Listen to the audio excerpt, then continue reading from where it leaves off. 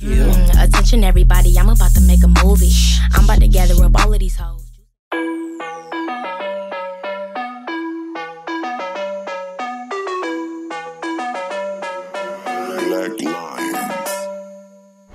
Hey y'all, welcome back to my channel, EJ Jones with an X on the end. So today's video is gonna be cute and quick. I'm not even gonna hold you. I'm gonna show you some quick facial feminization tips using only makeup and a little bit at that. I've already used a very light moisturizer that has SPF 30 in it, so I should be good on the moisturized part. So I'm just gonna use this to prime my skin.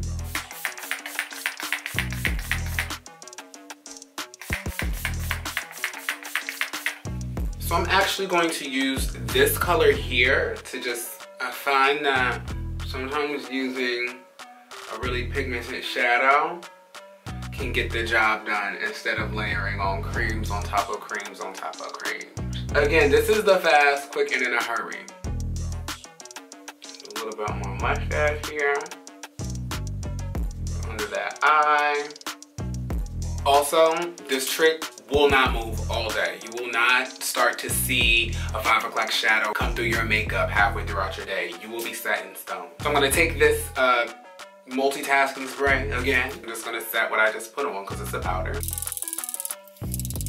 All right, so now that we've color corrected, so I'm gonna go in with my Black Radiance Liquid Foundation. I use it all the time and I travel with it so you like can't see what it says, but Black Radiance, girl. So I have my foundation on my hand and I'm also gonna spray my brush with the setting spray. That's a quick tip to help you set your makeup while you're doing it. I promise it will save you time in the end. So I'm just gonna go in. I'm gonna start getting that foundation on. Mm-hmm. Yes, God. I'm avoiding my under eye area for now because I want to brighten that up. So I have found that not putting too much foundation right under my eye makes that process way quicker and cleaner.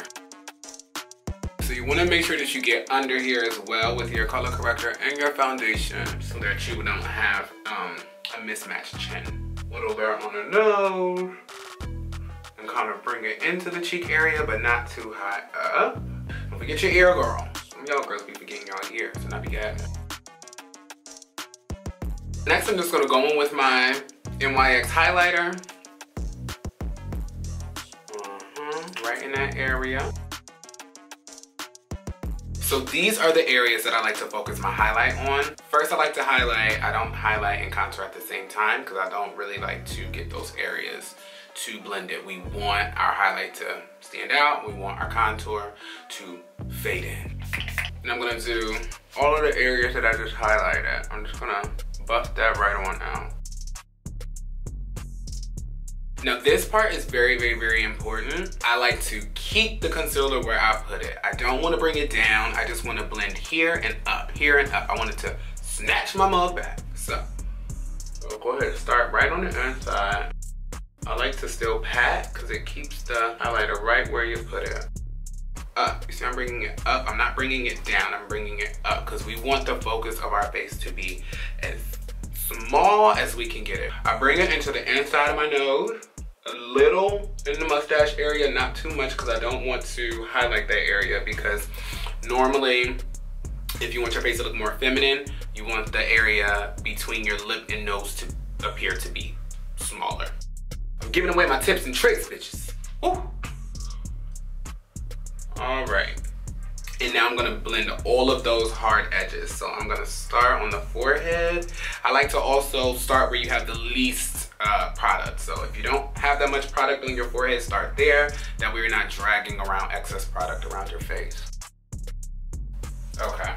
So now that we've done our foundation and highlighter, I'm gonna go through and do a little bit of contouring. I don't wanna do too much because I don't want it to stand out. I want it to just blend into the mug and just feminize the features that are already there. I'm gonna start off with the forehead. I am going to just lightly dab there because I want to contour, I want to delete this area. I want to break it down. This is the breakdown.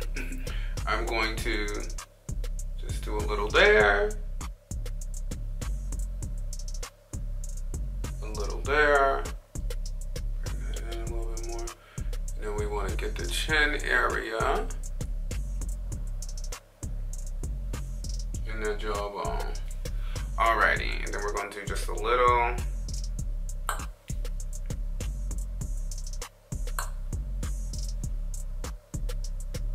Mm -mm.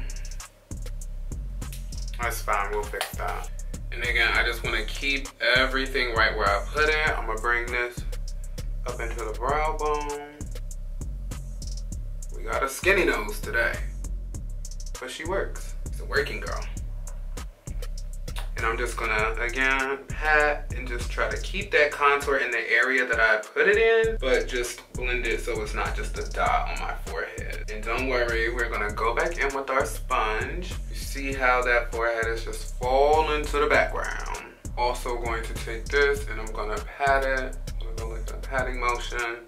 But I'm gonna blend it up. Everything is always up. You snatch the mug up. Bring this up. Because we want to make the chin to appear smaller. I'm just gonna follow my jawline, connect those two lines. And I'm also going to take it from the actual jawbone and drag it right down the neck like that. Okay, this is gonna slim the neck from the front. It's gonna make your neck appear to be slimmer than it actually is. So now I'm just gonna take that foundation brush and I'm gonna kind of go around and over all of those areas that we just contoured.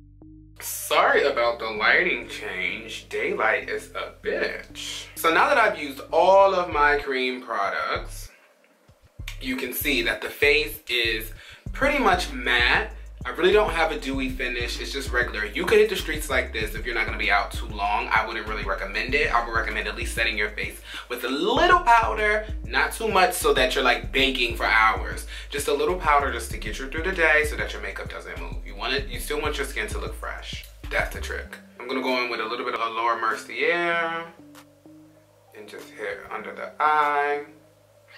See how she I swear this man only builds shit when I'm recording. And it's been happening since the beginning of the quarantine. What are you doing, building a new house? Set the face so beautifully. Also gonna set this area as well. Bring it on down the bridge of my nose. Dust that chin. Gonna go in with my handy dandy full face powder. Very neutral to my skin tone. And just lightly set my entire face.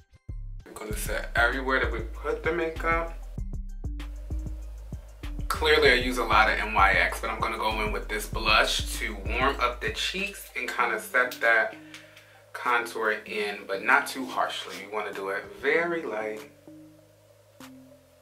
Bring some of that warmth back into the face. Now a trick to make your cheeks look higher is literally bring your blush in. You wanna make it look like you are blushing from the inside out, girl. You want to put a little blush everywhere that you've contoured because it's what's going to make your face just look so warm and blended. Here he goes again, building shit. How much shit could you build in a day? So now I'm just gonna go in with some highlighter from Black Radiance. And I'm just gonna tap that on in right here. Just to give myself a very natural glow. Also gonna bring that in almost literally to the nose. We just wanna bring this whole cheek area up. Dab a little bit here. And the reason I'm not using a brush is because I don't want to, I want to be able to control, like literally control and I want to press it in. I want it to blend. I don't want it to sit on my face like highlighter. I want it to highlight where I sit, bitch. Yes. Now I'm just gonna go in and I'm just going to really brush my brows up. I have pretty thick brows already, so for like a look this natural, I'm not going to make them too clean because I don't want anything to look too harsh. I'm just gonna go and just fill in. I'm just gonna give myself a little arch here. Drag her on down, fill her on in, blend that brow. But I'm not doing any eyeshadow, nothing like that. So I'm gonna come right back to you when I've done my lash and liner. Alrighty, so I have my lashes and my liner on. So I'm just gonna do a little smoke under my eye just to soften that liner, just to give us some more depth in there. I think that's all we need. Let me get the tips of these, try to group them together as much as I can. So my final step is going to be to do the lips. So I'm just gonna take this dark um, lipstick from Sephora. I don't know, I don't know. And I'm just gonna put it on like I normally would do lipstick. It's not a liner, so you don't have to be as careful. I like to over draw just a little. My lips are already pretty big. Now I'm gonna go in with a nude lipstick on the inside just to give it that fuller effect and like that ombre effect. And got a little bright on that bottom lip. I wanna keep the lip really pouty. A little clear gloss on top.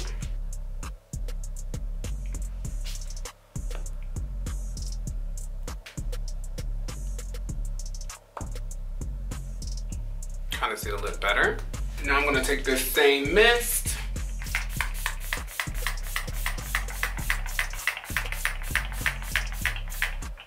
And we are done. We're done. We're done.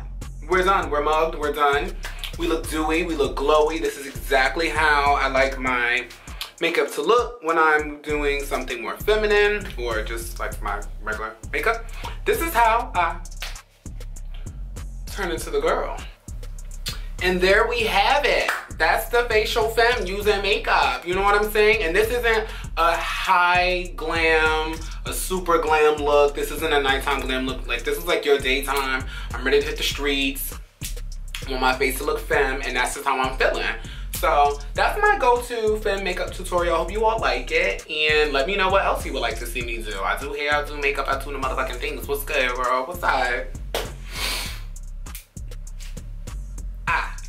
Thank y'all for watching. It's been real, it's been fun, but it ain't been real fun. If you want more videos like this, or more videos of me talking, or more videos of me doing things, tell me down in the comments below. Don't forget to like, comment, subscribe, and share it, bitch.